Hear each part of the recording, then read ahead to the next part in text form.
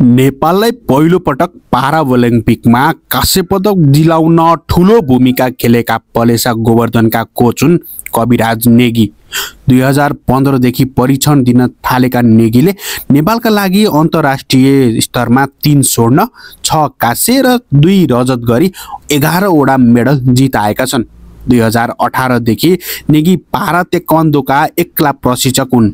तर उनी volunteer coach भएका कारण कुनै पनि आर्थिक सेवा सुविधा पाउँदैनन्। आफ्नो खर्च चलाउन उनी दुई हजार अठारदेखि एन्फामा काम गर्दै आएका छन्। बिहान उठेर पारा खेलाडीलाई परीक्षण दिन्छन् र दिउँसो एन्फामा पुग्छन्।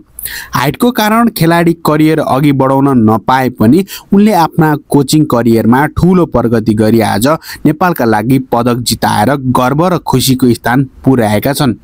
नेपाल सरकारले उनलाई पाँच लाख पचासी हजार रुपैयाँले पुरस्कृत गर्ने निर्णय गरेको छ।